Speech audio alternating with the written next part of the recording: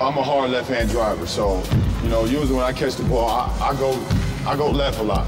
You know, I think a lot of defenders notice that about me that I like to go left. So basically, what I just did, I set him up with the hard left, like I usually go, and just cross it back over. So you know, I back him up, size him up, boom, like I'm going left, and then just cross it. And once I get into the lane, you know, it's big down there. I want to try to finish over top of them, but they don't help. You know, right there, they didn't help, so I was able to finish at the rim.